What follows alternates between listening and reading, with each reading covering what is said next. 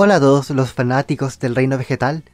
Soy Adrián y hoy tenemos un nuevo episodio de Hasta la raíz, en donde hablaremos de dos especies del género fucsia. La fucsia magallánica es un arbusto que crece de Valparaíso hacia el sur, llegando hasta Magallanes.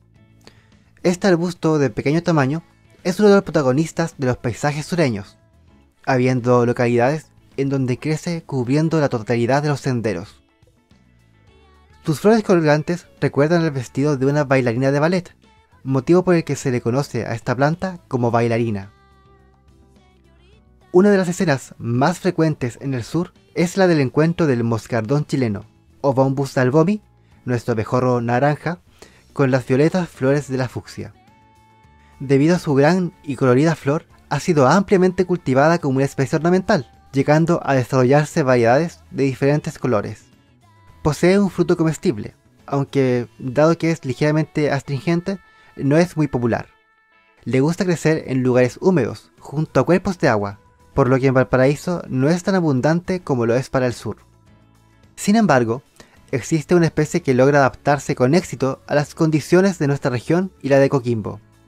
Se trata de Fucsialisioides, o palo de yegua, un arbusto con una flor y unas hojas muy similares, pero de mucho menor tamaño y tonalidades más claras. Esta tonalidad más clara en las hojas es típica de plantas que están expuestas al sol. Por el contrario, plantas como la fucsia magallánica, que suelen crecer a la sombra de otras plantas, se ven obligadas a producir más moléculas de clorofila, el pigmento que le da el típico color verde a las plantas, lo que las vuelve más oscuras. Otra adaptación que ambas comparten, pero que es más notoria en fucsia lisioides, son sus hojas caducas, es decir, que caen en la época seca, como una forma de evitar la pérdida de agua por los estomas, unos pequeños poros presentes en todas las hojas. Esto hace que sea posible encontrar arbustos compuestos de ramas totalmente grises, en los que asoman, unas veces tímidas y otras abundantes, campanitas rosadas.